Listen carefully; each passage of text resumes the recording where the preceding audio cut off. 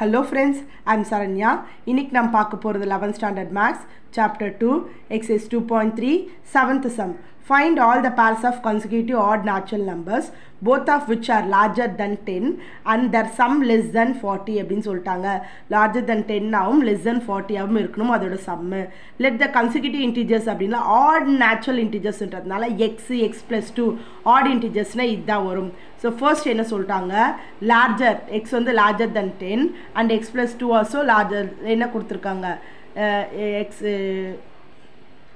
கிரேட்டராக இருக்கணும்னு சொல்லி கொடுத்துருக்காங்க ரெண்டு வேல்யூஸுமே அப்படி பண்ணும்போது இங்கே இது எதுவுமே சால்வ் பண்ண முடியாது. இது எப்படி சால்வ் பண்ணலாம்? இந்த பக்கம் கொண்டு வந்தோம்னா ப்ளஸ் டூன்றது மைனஸ் டூ ஆகிடும் so x is greater than eight ஓகேவா இப்போ என்ன பண்ண போகிறோம் கன்சிக்யூட்டிவ் இன்டென்சிஸை கண்டுபிடிச்சிட்டோம்.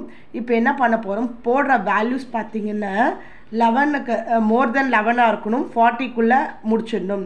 ஸோ அதனால் நான் என்ன பண்ணுறேன் ஆட் நம்பர்ஸ்னால் லெவன் தேர்ட்டீன் லெவனும் தேர்ட்டின் ஆட் பண்ணால் என்ன வரணும் எனக்கு? லெவன் தேர்ட்டின் ஆட் பண்ணால் எனக்கு என்ன வரும் உங்களுக்கு பாருங்கள் டுவெண்ட்டி எயிட் வருமா? சாரி டுவெண்ட்டி ஃபோர் வருமா?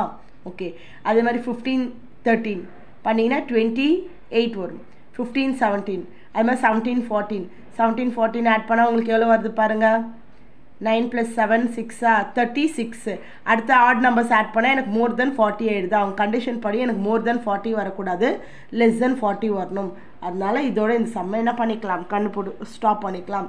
ஆட் ஆட் நம்பர்ஸ் எடுக்கிற போது நம்மளுக்கு என்ன ஃபார்மேட்டில் தான் இருக்கணும்? ரெண்டு வேல்யூ ஆட் பண்ணும்போது ஆட் நேச்சுரல் நம்பர்ஸை அது லெஸ் தென் ஃபார்ட்டியில் இருக்கணும். இதுக்கப்புறம் பேர் எடுத்துனா அது மோர் தென் ஆகிடும் அதனால் என்னால் சால்வ் பண்ண முடியாது. Clear thank you